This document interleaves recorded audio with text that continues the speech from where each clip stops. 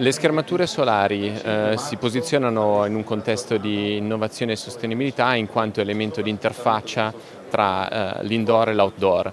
Eh, tali schermature infatti eh, l'ottimizzazione e il loro, loro, loro, sviluppo permette di ridurre i consumi ma allo stesso tempo migliorare il comfort degli utenti.